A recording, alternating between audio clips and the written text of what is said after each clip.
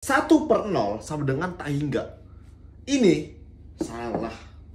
Oke, kenapa kita nggak bisa bagi dengan 0? Contoh, 10 bagi 2 sama dengan 5. Ya, Artinya, kalau 2 kita pindah ke sana jadi kali, 10 sama dengan 5 kali 2. Nah, sekarang misalnya 10 bagi 0 sama dengan, kita nggak tahu apa ya, titik-titik.